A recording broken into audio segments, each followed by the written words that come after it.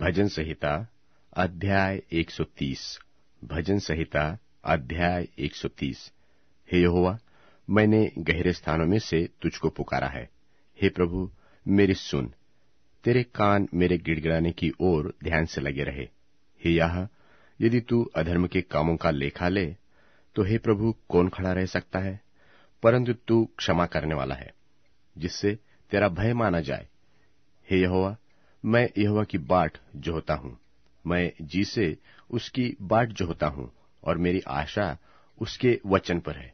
पहरुए जितना भोर को चाहते हैं हाँ पहरुए जितना भोर को चाहते हैं, उससे भी अधिक मैं यहोवा को अपने प्राणों से चाहता हूँ।